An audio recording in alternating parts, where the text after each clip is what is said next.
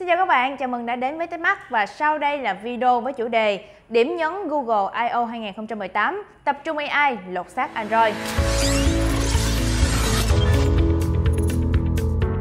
là sau nhiều thông tin rò rỉ thì cuối cùng mới đây, Google đã chính thức khai mạc hội nghị I.O. 2018, sự kiện công nghệ dành cho nhà phát triển lớn nhất trong nửa đầu năm nay của họ. Về cơ bản thì không giống với những sự kiện trước đây, vốn thường dàn trải và giới thiệu nhiều sản phẩm mới nhưng mà mang tính là bánh vẽ hơn là mang đến nhiều tính chiến lược.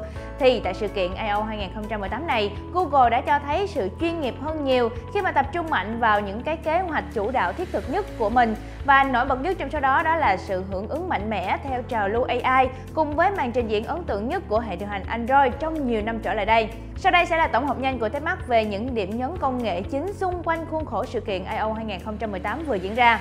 Đầu tiên đó là hệ điều hành Android B.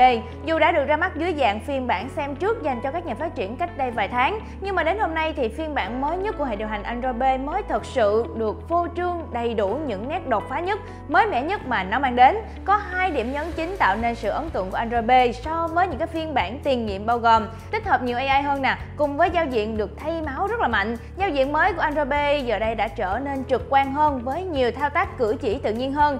Đặc biệt đó là khả năng đa nhiệm và luân chuyển giữa những cái ứng dụng. Dĩ nhiên thì giao diện này đã học tập ít nhiều giao diện đa nhiệm và cử chỉ điều khiển của chiếc iPhone 10 đi trước. Nhưng công bằng mà nói thì à, không sớm thì muộn, Google cũng cần phải làm như vậy bởi đây là hướng phát triển có lợi cho người dùng. Bên cạnh đó thì phiên bản Android B cũng đã tích hợp rất là nhiều những cái tính năng dựa trên AI giúp cho thiết bị trở nên thân thiện hơn, hiểu người dùng hơn nhiều sau một thời gian sử dụng như là chế độ tối ưu pin nè, tối ưu độ sáng màn hình hay thậm chí là các chức năng giới hạn thời lượng sử dụng ứng dụng hay là kích thích giấc ngủ bằng cách là chuyển màu màn hình để giúp người dùng bớt phụ thuộc hơn vào smartphone cũng như là trở nên tự chủ hơn khi mà sử dụng hàng ngày. Android B xứng đáng được coi là phiên bản Android với nhiều điểm mới đáng ghi nhận cũng như là phiên bản Android thông minh nhất của Google từng phát triển. Tiếp theo đó là giao diện mới cho Wear OS. Tại sự kiện I.O. 2018 thì Google đã chính thức đổi tên hệ điều hành Android Wear thành là Wear OS. Lý do chính để công ty làm như vậy là để phục vụ cho một tương lai mà đồng hồ thông minh sẽ trở nên đa dạng hơn, mà không phụ thuộc vào một thương hiệu cụ thể nào cả. Hiện tại thì có hơn 40 mẫu đồng hồ chạy Android Wear đủ điều kiện để nâng cấp hệ điều hành đã được ra mắt và chúng sẽ sớm được đổi thành Wear OS trong những cái bản cập nhật tiếp theo. Không có nhiều điều để nói về Wear OS trong thời gian này bởi vì phải đến cuối năm thì Google mới chính thức tung ra phiên bản này. Các đặc điểm chính của Wear OS đã bao gồm tiếp tục tối ưu thời lượng pin nè, hỗ trợ đa dạng hệ điều hành khác nhau. Đặc biệt đó là iOS của Apple, hỗ trợ nhiều ứng dụng hơn và nhất là có thể cho phép chỉnh sửa giao diện theo ý thích dù không thể sâu như là Android trên di động. Tiếp theo đó là hệ điều hành Android Thing cho thiết bị IoT. Android Thing 1.0 vừa ra mắt tại sự kiện I.O. chính là bước tiến quan trọng nhất của Google đối với mảng thị trường thiết bị thông minh IoT trong thời gian tới.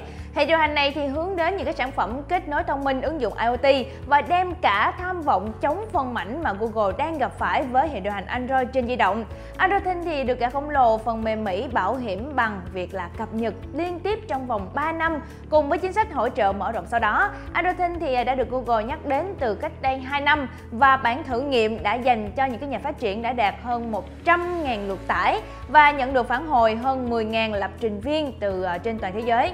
Hệ điều hành này thì sẽ hỗ trợ các phần cứng IoT của các nhà sản xuất thiết bị IoT lớn nhất hiện nay như là NXP, nè, Qualcomm, nè, MediaTek. Dù hiện tại là những gì mà chúng ta biết về Android Thing còn khá là sơ khai, nhưng mà nó cũng đang hứa hẹn mở ra một cái tương lai mới về điện toán thông minh sẽ được hợp nhất triệt để thay vì phát triển rời rạc như là hiện nay. Bên cạnh việc tích hợp AI sâu vào hệ điều hành Android mới thì Google cũng đã làm điều tương tự với những cái dịch vụ của họ như là Gmail nè, trợ lý Assistant, Google Lens hay là Photo. Với Gmail thì Google đã giới thiệu thêm tính năng mới gọi là biên soạn thông minh, cho phép gợi ý cho người dùng cả nguyên một câu dài hoặc thậm chí là cả một đoạn email hoàn chỉnh, giúp người dùng soạn email nhanh hơn nè, tránh sai lỗi chính tả. Hay với Photos thì ờ, với những cái tính năng AI sẽ thực hiện hữu ích như là biến ảnh đen trắng thành ảnh màu nè, hoặc là sáng tạo với phông nền đơn sắc hay là chuyển bức ảnh tài liệu thành file PDF vân vân. Với Google Lens thì giúp cho kết hợp tối đa với bản đồ Google Maps để giúp cho người dùng biết được mình đang ở đâu một cách nhanh nhất hoặc là tra cứu nhanh thông tin về một ngữ cảnh bất kỳ đang đi trên đường hoặc thậm chí là nhận diện à, văn bản và cung cấp định nghĩa cho các từ, cụm từ mà người dùng đang gặp trong đời thực vân vân. Những tính năng này thì sẽ sớm có mặt trên những cái bản cập nhật tiếp theo dành cho smartphone Android và thực sự thì chúng đều rất rất là đáng đáng giá trong cuộc sống của người dùng di động. Nhìn chung thì có thể thấy là sự kiện I.O. 2018 của Google đã cho thấy một hình ảnh rất là thú vị của gã khổng lồ phần mềm với việc tập trung tối đa lợi ích sử dụng cho người dùng, cũng như là hướng đến một cái tương lai gần phủ kính hệ sinh thái thông minh bằng Android. Có thể thấy đây chính là kỳ I.O. thiết thực nhất mà Google từng tổ chức và hy vọng rằng với sự kiện tiếp theo thì gã khổng lồ công nghệ này có thể tiếp tục làm tốt như vậy hoặc là hơn thế nữa. Còn các bạn khán giả của Tech Mắt thì các bạn nghĩ như thế nào? Hãy để lại bình luận bên dưới nhé. Còn bây giờ thì Ông Nhi xin chào và hẹn gặp lại các bạn trong những video lần sau. Bye bye!